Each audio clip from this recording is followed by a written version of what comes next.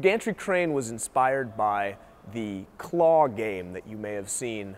It, it's a robotic claw that moves around in a constrained area, and this shaky claw goes down and tries to pick up a stuffed animal. It, it, it never works. It turns out there's a knob on the back of those things that allows the unscrupulous arcade owner to determine how effective it is. So you can turn that knob down and the crane will shake like this. It's horrible. You never win a teddy bear in that thing. We wanted to make that game bigger and deadly, deadly accurate.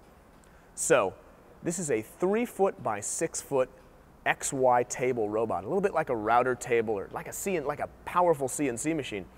It's operated by drill motors, which we bought for $20 at the, at the hardware store, hooked up to the computer and enabled this carriage to move back and forth in this flat plane.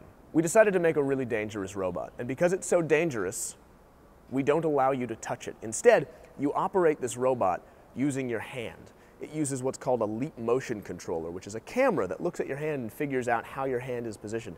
If you turn your hand this way, the robot moves this way. If you turn your hand this way, the robot moves this way.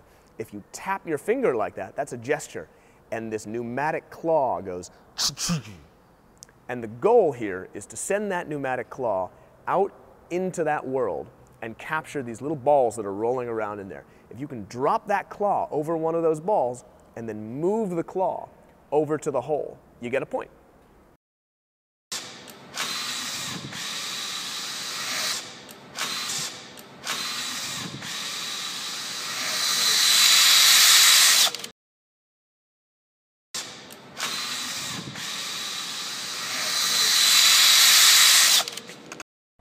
We need your pledge.